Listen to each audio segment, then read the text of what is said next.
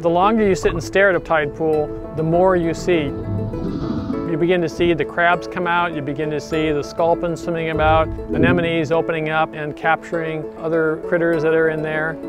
I think it's important to be mindful of these environments because even though we seem like our impacts are very small, there are a lot of us out there and our impacts to these environments are not something that these organisms would normally encounter.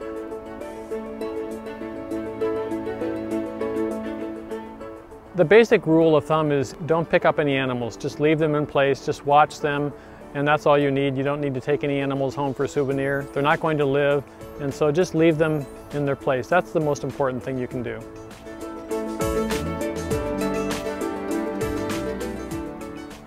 Treading lightly in tide pools will protect the organisms that are there and also ensure that these great places are available for others to see in the future. If you can get onto sandy areas when you're going down to the pools or hard rock if that's always a good place to stand to observe the pools.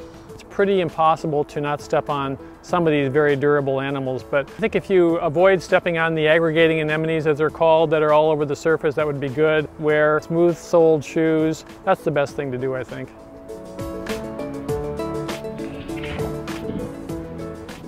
There's a lot of concern nowadays about sunscreen and the effects of sunscreen on nearshore marine life and so obviously the best thing to do is not apply sunscreen until you're completely done with being near the water.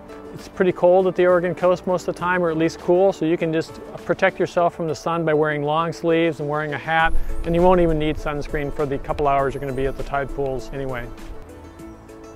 Tide pooling allows all of us to actually get down to the ocean and to see just a, a small snapshot of marine life that otherwise is just not available to us.